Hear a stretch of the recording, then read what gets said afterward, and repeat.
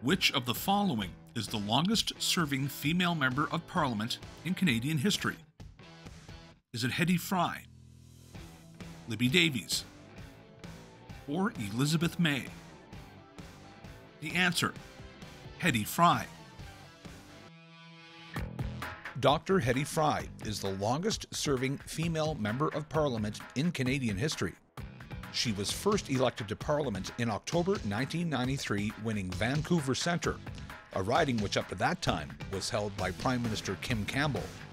With that election win, she also became the first rookie MP to defeat an incumbent Prime Minister in their own riding.